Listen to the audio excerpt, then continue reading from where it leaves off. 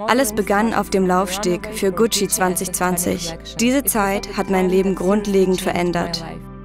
Alle, die schon mal negative Kommentare unter dem eigenen Foto hatten, wissen, wie sich das anfühlt. Bei mir waren es nicht nur Hate-Kommentare, sondern ganze Schlagzeilen.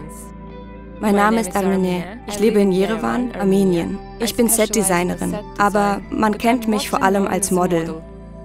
Als ich jünger war, war ich mir auch nicht sicher über meinen Körper. Ich mochte mich nicht wirklich. Damals habe ich sogar über eine Nasenoperation nachgedacht.